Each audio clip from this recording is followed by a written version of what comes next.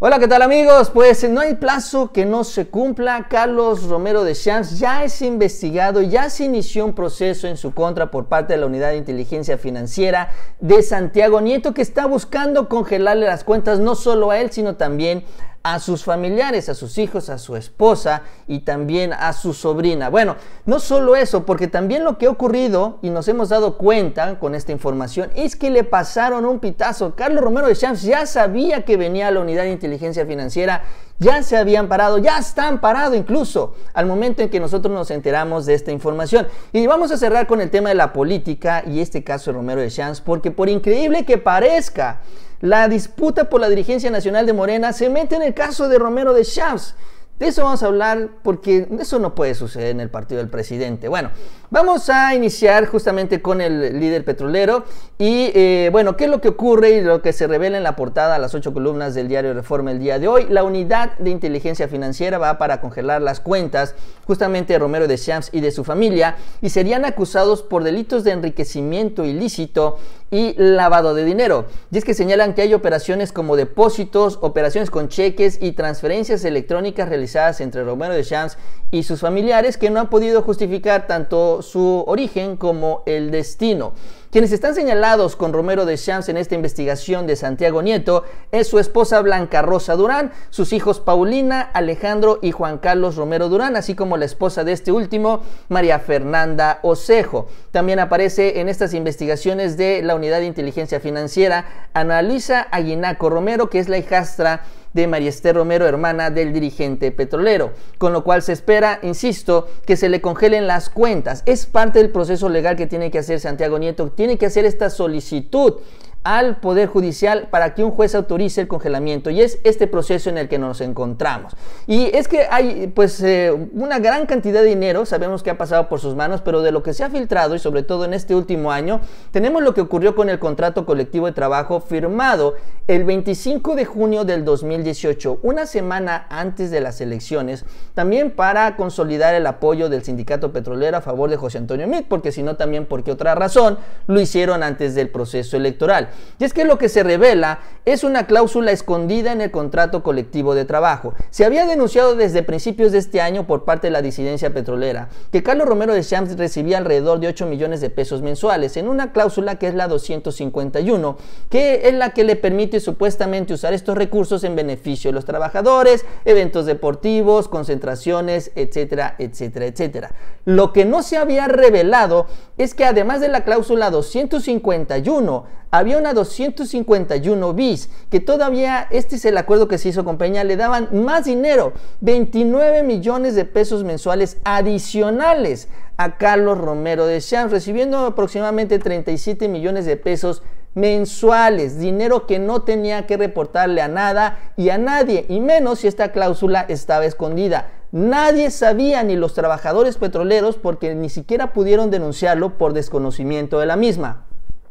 Entonces recibió en este contrato colectivo, que ya prácticamente es lo que se está renegociando en estos días, 353 millones durante los últimos 12 meses. Ese es el dinero que pasó por las manos de Carlos Romero de Champs y que tiene que justificar y que también está investigado por la Unidad de Inteligencia Financiera y que por lo visto también le pasó a sus familiares, que por eso también aparecen en estas investigaciones de Santiago Nieto. Ahora, aquí viene la mala noticia. La mala noticia es que mientras nosotros nos estamos enterando, de estas investigaciones, Carlos Romero de Champs ya sabía que iban por él, incluso ya se amparó. Y lo que hizo el día de ayer fue presentar un amparo, bueno, en estos últimos días, pero ayer se dio prácticamente a conocer también parte de esta información, es que ayer recibió este amparo porque el Raúl García Camacho, juez décimo cuarto de distrito con sede en Naucalpan, concedió al líder del sindicato petrolero una suspensión provisional contra un eventual mandato privativo de la libertad, protección que continuará vigente si cubre una garantía, miren cuánto tiene que pagar el señor.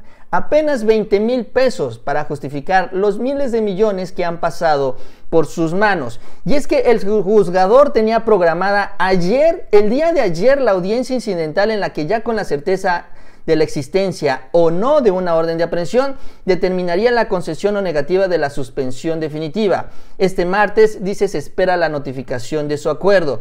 Es decir, Carlos Romero de Champs ya sabía, ya le habían avisado que la unidad de inteligencia financiera iba por él y empezó a tramitar el amparo, el famoso amparo buscador, para detectar si tenía una orden de aprehensión o no. Y evidentemente cuando empieza a solicitar las investigaciones a las autoridades en contra suya, las carpetas de investigación, pues evidentemente ya aparece la información, los datos de la unidad de inteligencia financiera, que es de lo que nos enteramos nosotros. ¿Quién le avisó a Carlos Romero de Shams? El día de ayer hablábamos del cártel de los abogados, en donde estaba Juan Collado, donde estaba el jurídico de Enrique Peña Nieto, donde también participan jueces, ministros, ministros también del Tribunal Electoral, donde hay una red de intereses que justamente protegen a todos estos personajes y que evidentemente siguen operando.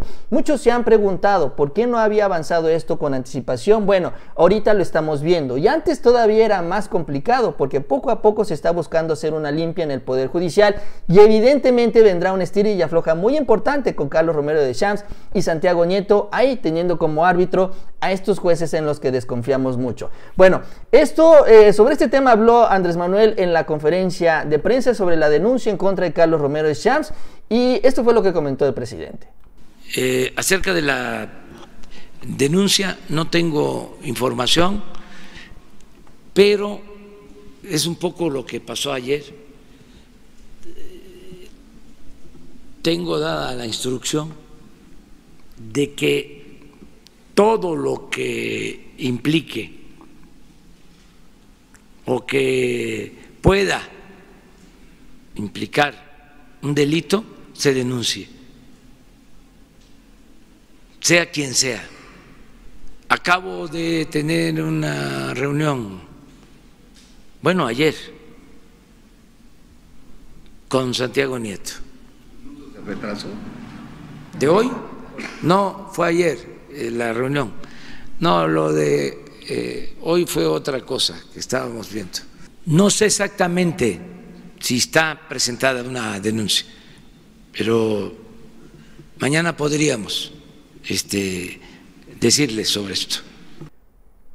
Bueno, pues es lo que comenta el presidente. Mañana vamos a tener información, pues sí es un poco extraño hablar de la unidad de inteligencia financiera y que no le hayan reportado al presidente todo este proceso en contra de Romero de Champs, pero ya se comprometió Andrés Manuel para darnos un poco más de datos el día de mañana. Ahora vamos con la parte política. Les decía yo un fenómeno muy extraño porque en el marco también de esta información, hoy se le preguntó al presidente si el papá de la actual secretaria del Trabajo, Luisa María Alcalde, eh, pues es el abogado de Carlos Romero de Champs y está participando también para ayudarlo, defenderlo.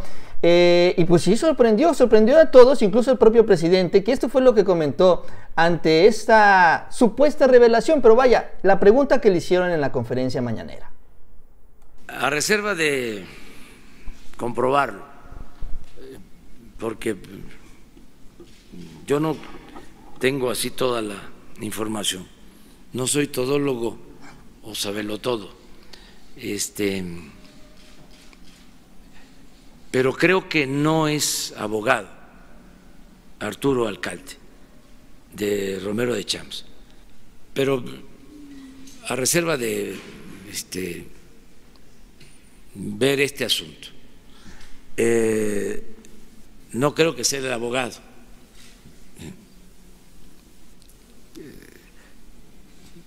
Lo que sí les puedo decir es que ya no eh, se permiten privilegios para nadie.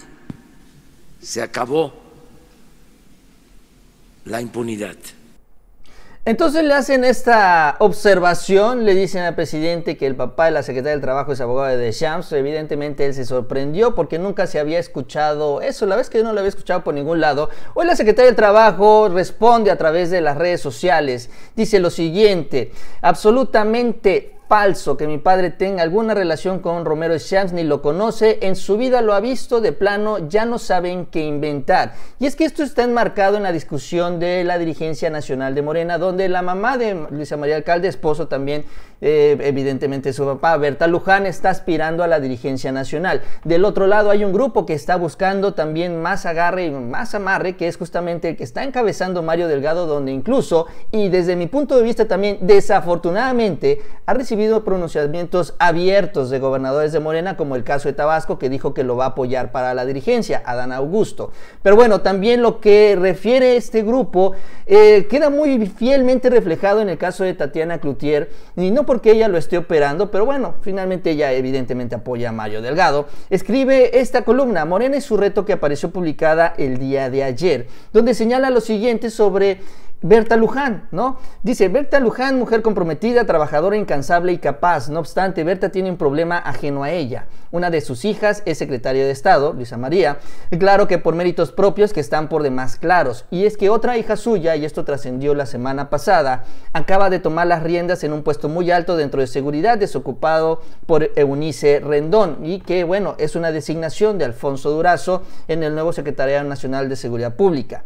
También está su esposo, dice Tatiana Cloutier, Arturo Alcalde, connotado asesor laboral y sindicalista. Lo anterior podría parecer poca cosa, más con los nuevos cambios a la ley laboral, donde la democracia sindical y el papel de los sindicatos jugarán un papel muy importante.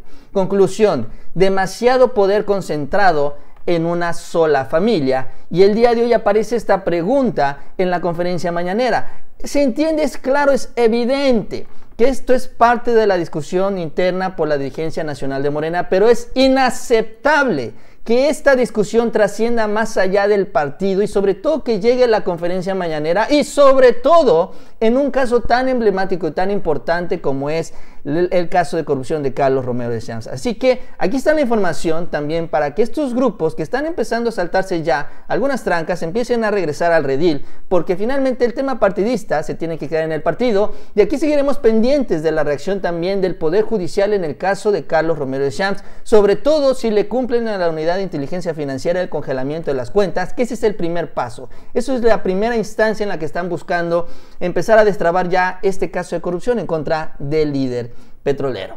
Bien amigos, pues es todo. Gracias por acompañarnos. Les invito a que se suscriban y nos vemos a la próxima.